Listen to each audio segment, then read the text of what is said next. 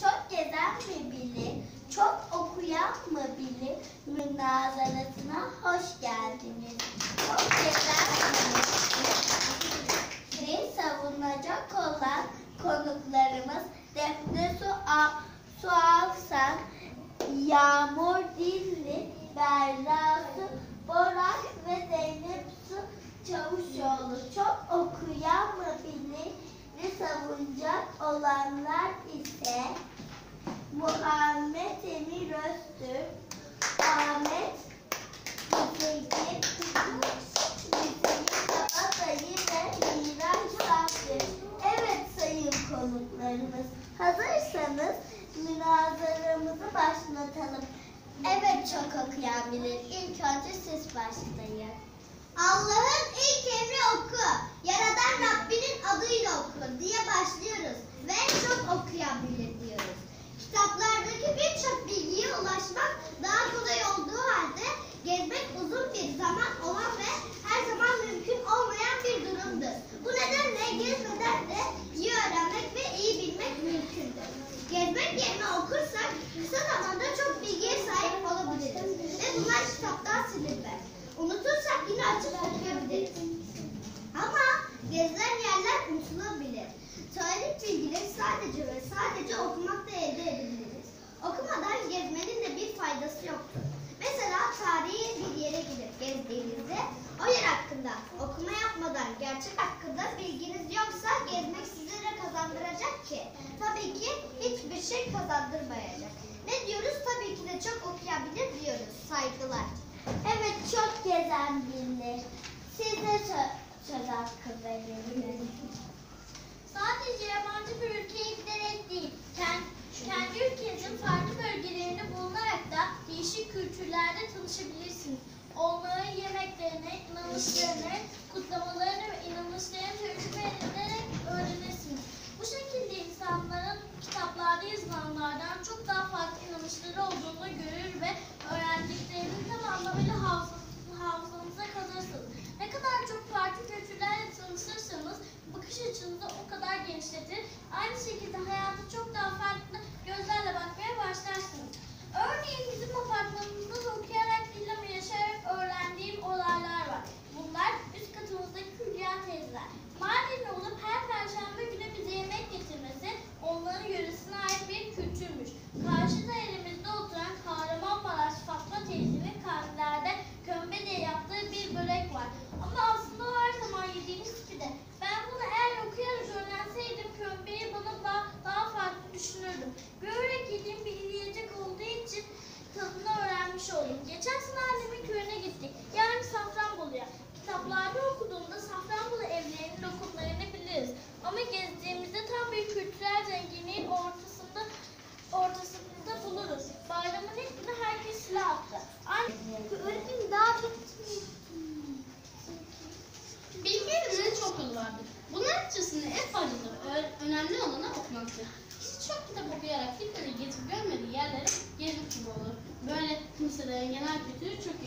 iyi olur. O yüzden ne diyoruz? Tabii ki çok okuyabilir. Hukuk, psikoloji, matematik, din, edebiyat, tıp ve benzeri bilim dalları her yönüyle ve detaylı bir şekilde yazarak nasıl öğrenebilirsiniz? Örneğin Nobel ödülünü alan bilim adamımız Aziz Sancar gezerek mi ödül aldığını sanıyorsunuz? Tabii ki değil. Okuyarak ve çalışarak. O zaman ne diyoruz? Çok okuyan bilir ve ödülü kapar. Gezene ödül yok. Mesela bilim serisinde okuduğumuz bilim adamı ibn Sina hatırlayacağınız gibi çalışarak ve okuyarak insanlara şifalar etmiştir. Gezerek değil. Ve Türkiye Cumhuriyeti'nin kurucusu Mustafa Kemal Atatürk hayatı boyunca 5000'e yakın kitap okumuştur. Bizlere örnek olmuştur. Demek ki ne diyoruz? Çok okuyan bilir. Slaytımızda da göreceğiniz gibi Hz. Muhammed sallallahu aleyhi ve sellem beşikten mezara kadar bilim öğrenmiş. Bizlere okumanın önemini anlatmıştır. Hz. Ali bilginin aydınlık iklimine bizi davet ediyor ve diyor ki ya öğrenen ol, ya öğreten ol, üçüncüsü olma. Dünya ve ahiretin anahtarı olan bilginin yolu öğrenmekten, öğrenmeninki ise okumaktan geçmektedir. Demek ki ne anlıyoruz? Bizlere hayatlarıyla örnek olmuş, belli başarıları imza atmış bilim adamlarımız bugünlere okuyarak gelmiştir. Evet slaytı izleyelim.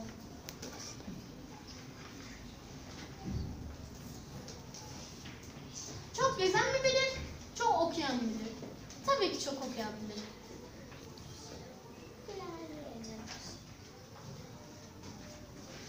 İtiraf, oku diye emreden, okudun mu diye sormaz mı?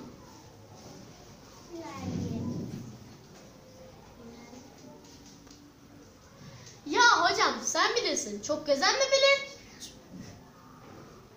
Çok gezen mi bilir, çok okuyan mı bilir? Allah bilir.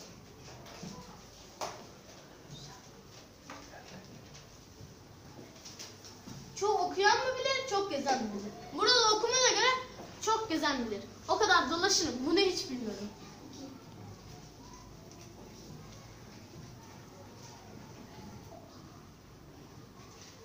Çok okuyan bilir. Ezmek pahalı ve sıkıntılı. Kütüphaneler temiz ve bedavadır. Gezmek pahalı ve sıkıntılı. Kütüphaneler temiz ve bedavadır.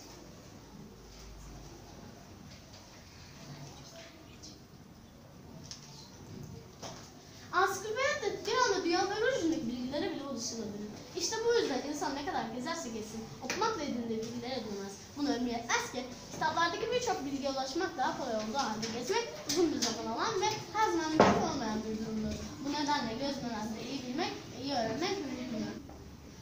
Tabii ki çok okuyan bilir. Okumadan gezen, gezeceği yeri nereden bilir? Hazreti Ali bilginin aydınlık il- ilimine, ilimine bizi davet ediyor ve diyor ki ya öğrenen ol ya öğreten ol, üçüncüsü olmaz. Dünya ahiretin anahtarı olan bilginin yolu öğrenmekten, öğrenmenin ise okumaktan geçer. Okumak ilk ve son çağrıdır. Okumak kurtuluştur. Okumak sığınmaktır. Okumak inanmaktır. Okuyan insan en güçlü insandır. Okumak acil aşmasındadır. Okumak nefes almaktır. Okudukça öğrenirsin, öğrendikçe gençleşirsin. Okumanın yaşı yoktur. Okuyarak mükemmel yerlere gelen, gelen Türk bilim insanlarımız. Einstein'da. Bunun için de Nobel Barış Ödülü'nün verildiği kimyasal silahların yasaklanması örgütü bu ödül, ödüle Üzümcü'nün direktörlüğü döneminde layık görülmüştür. Işıktan mezara kadar ilmi öğrendiniz. Hz. Muhammed sallallahu aleyhi ve sellem. Hayatta en hakiki mürşit ilimdir. Mustafa Kemal Atatürk. Bir cismin dengede durabilmesi için en az üç bacağının olması gerekiyor. Gezen biri bir bacakları, okuyan ise iki bacakları. Hem okuyup hem gezen üç bacakları. İşte bu üç bacak insanın ayakta tutar. Serbest saygın olmak.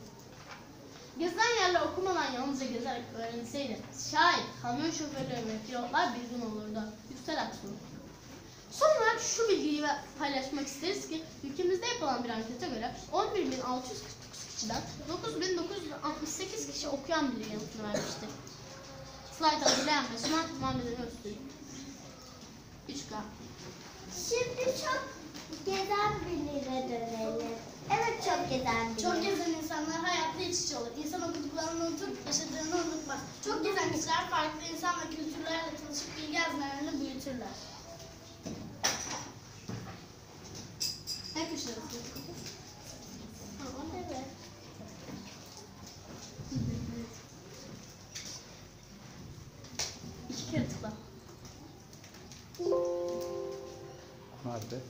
O nerede? Çok gezen bilir, çok okuyan var. Gezen insan, çok gezen bilir diyenlerin haklı olduğunu gösteren maddeler. Gezen insanlar bir hayatta iç içe olur. İnsan okuduklarını unutur ama yaşadığını unutmaz.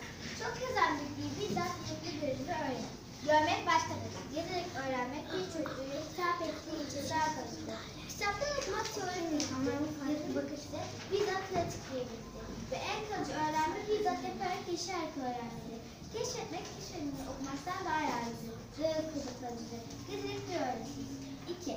Eğitim görerek kursuna giderek kendimizi farklı yollarla geliştirmekle biz öğrenebiliriz. Ancak bunların hiçbiri bir yürüyüşüne giderek öğrenmenin yerini tutamaz.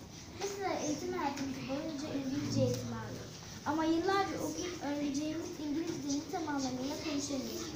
Konuştukça çok uzun bir zaman sonra ve tam anlamıyla konuşamıyoruz. Fakat dışına gidip orada birkaç ay görerek orada yaşayarak sınırların içinde sular serler gibi konuşmaya başlarız. İşte bu direkt öğrenmenin en iyi öğrenme yöntemlerinden sadece biridir. Şimdi Üç, doğayı keşfetmeye fırsat bulursunuz. Gittiğiniz yerde doğal güzellikleri, doğal güzellikleri keşfedip kitaplarda göremeyeceğiniz hayvan ve Gezmek eylemi merak ve özgür hissetme duygusuyla başlar. Bebekliğimizden itibaren uyguladığımız bir eylemdir. Okuma yazma bilmeden bile özgürce attığımız ilk adımdır. Gezmek önemlidir. İlk adımlarımız, ilklerimiz önemlidir. Bildiğimiz her şeyi yeni öğrenmeye çalıştığımız şeyleri yerinde görerek, hissederek yaşamak daha akıllıca olur. Uzaklara gitmek, denizler, sınırlar, ülkeler, inançlar fırsatı çıktığı zaman hiç duraksamak der Alexander Ramos. Buradan da yola çıkarak diyebiliriz ki, diyebiliriz ki gezmek insanı ilikleri yaşatan bir harekettir. Yaşadığımız şeyleri sınırlandırmak, önüne geçmek, her zaman geride kalmaktır. Bu yüzden bazen rota belirlemeden köşe bucak gezmek lazım. Mesela Neil Armstrong sadece okumak ile yetinseydi aydaki keşfedilmeyen o noktaları göremez ve hissedemezdi. Bu hareketiyle hem kendi özgürlüğünü aşmış hem de aya ilk ayak basan kişi olarak gez, gezmenin de en önemli şey olduğunu kanıtlamıştır. Bir örnek de şöyle verelim. Magellan herkesin dediği gibi dünyanın düz olduğuna inanır, dünyayı gezmeseydi dünya için dönüm noktası olan şeyi kanıtlayamazdı. Yani neyi? Dünyanın yuvarlak olduğunu. Bir düşünelim. Belgeselciler gezmeseydi ya da bildiklerini yerinde görme şansını yakalamasaydı yayın yapabilecek bildikleri yaşayamazdı.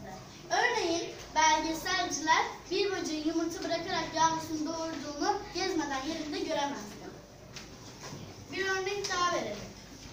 Mesela ben geçen yaz Dalyan sahiline gittiğimde karette karettaların kendileri yumurtalarını gördüm. Bu okuduğum şeyler gibi değildi. Bir dakika. Bir şey söyleyebilir miyim? söz hakkı veriyor Ee, okuyan birileri. Ee, neydi orası? Ee, şey, yumurta bıra bıraktığın yavrusunun doğurduğunu diyorsun ya. Ama onları kitaptan da öğrenebiliriz. Ama onu kitaptan öğrendiğimizde yerinde hem göremeyiz hem de onun belki ayrıntılarını göremeyiz. Ama ayrıntılarını anlatır. Kitapta ayrıntılarını anlatır ama. Ama ayrıntılarını Ama ayrıntıları da aynı değil. Sizin de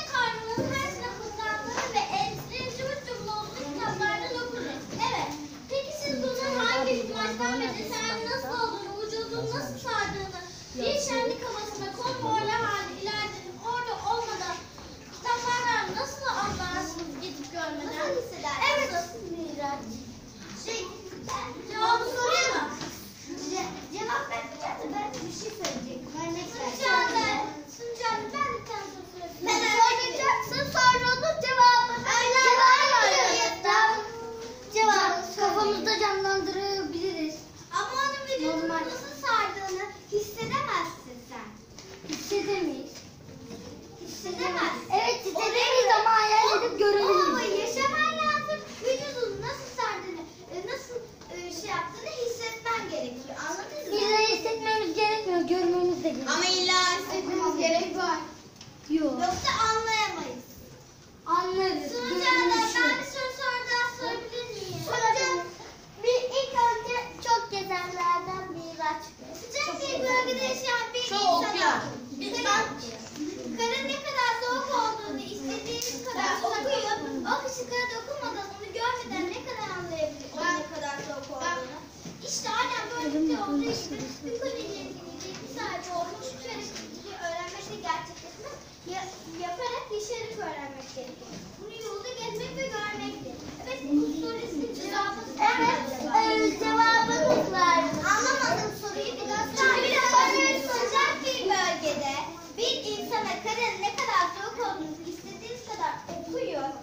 O